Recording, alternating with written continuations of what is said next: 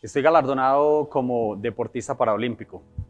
Eh, esto debido a que participé en los Manis Corps en Camp Entron, California, obteniendo cinco medallas de oro, dos de plata y dos de bronce.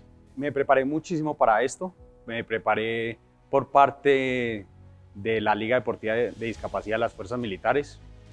Me entrené, tengo muchísima disciplina y logré obtener estos objetivos que me los estaba proponiendo desde, desde muchísimo tiempo atrás y llegar a ellos fue un, gran objetivo.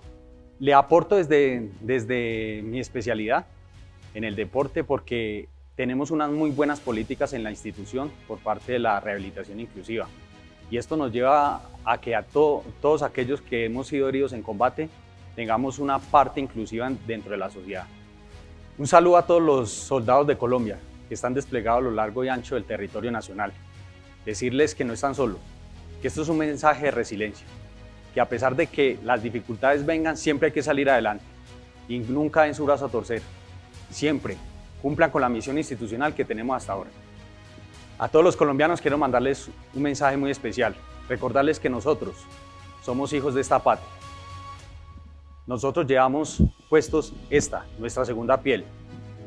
Y recuerde que siempre nosotros hacemos parte de todos ustedes. Somos hijos de una madre y un padre colombiano que lo ha dado todo por este país. Y aquí, a pesar de tener una discapacidad, siempre sigo adelante, creo en mi institución y así espero que ustedes crean en nosotros.